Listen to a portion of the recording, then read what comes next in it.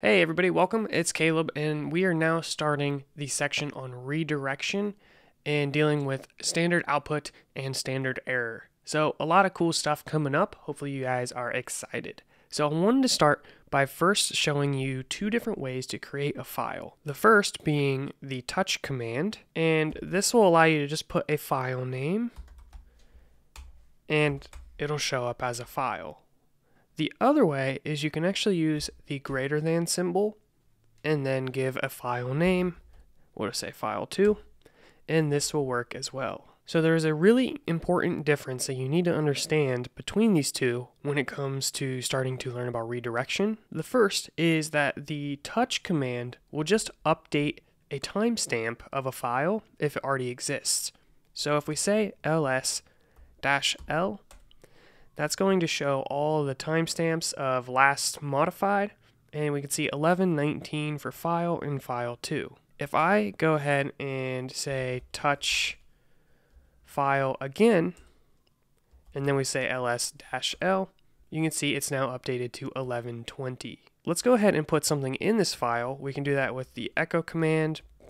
We'll just say hello, and I showed you this in previous videos, but this is actually redirection in action. We'll just put that inside a file. And when we take a look at what's in that file, we can do that with cat. We can see it has the value hello. If we go ahead and we touch file again, this doesn't actually change the content in the file. This is very different than if we were to use the greater than symbol because basically what we're doing is we are redirecting nothing into this file and it replaces everything inside of it. So if I go ahead and do this, well, that's going to replace the content of the file.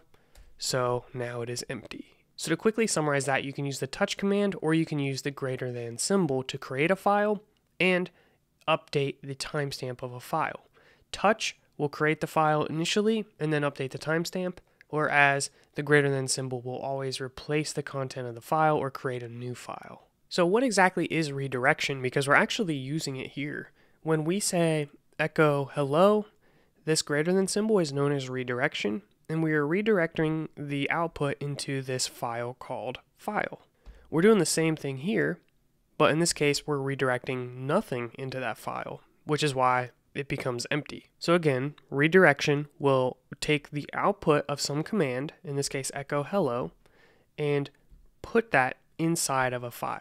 Now, it doesn't actually put everything inside of that file, it only puts what's known as standard output. There's also standard error, which we're going to talk about in the next video. Now, you also have the option to append to a file.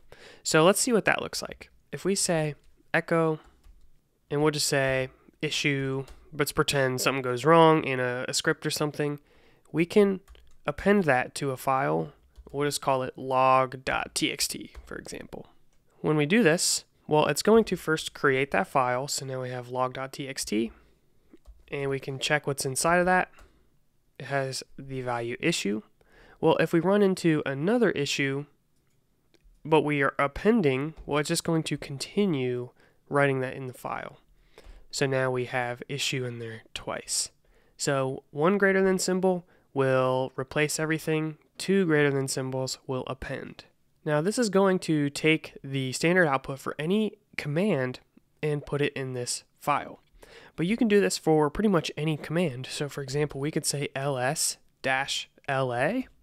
and direct that into a file called list.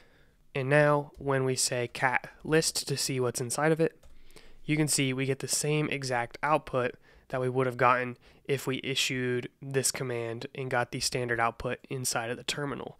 The only difference is it puts it in a file now. So when we issued one of the echo commands earlier, such as this here echo issue, basically what it's doing is it's taking the output of this command and putting it in that file. Well, the output of this command is actually just going to be this value, and that's exactly what the echo command does. So this was a very basic introduction to redirection. So far we've learned how to redirect standard output to a file. In the next video, I want to talk about standard error, which standard error is if there's an error with your command and that error shows up in the terminal, well, that is another thing we want to deal with. So I'll see you in the next video where we're going to learn about that. Peace out.